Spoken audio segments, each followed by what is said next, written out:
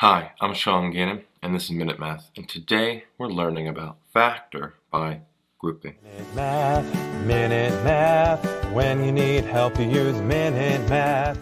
We're given this problem right here, 21k to the third power minus 84k squared plus 15k minus 60, and we want to factor this completely. Well, notice 21, 84, 15, and 60 all have the number 3 within it. So if we pull out a number 3, we're left with a 7k to the third power minus 28k squared plus 5k minus 20. So where do we go from here? Well, I notice in the 7k to the third power and 28k squared, we can pull out a common factor here. So 3 still comes down, but do we see? A 7k squared is in both of these. So if we pull out a 7k squared, what are we left with? Well, just 1k right here, 1k.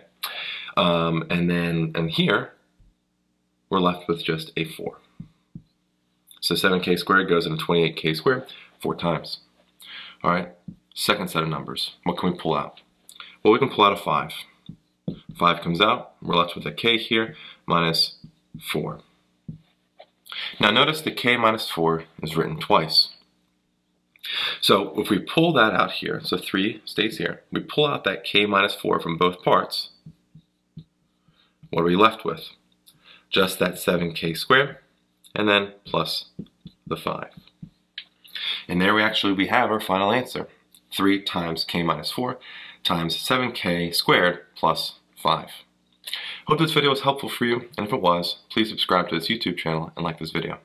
This helps us make more free math lessons for you and for everyone else. So as always, thanks for watching.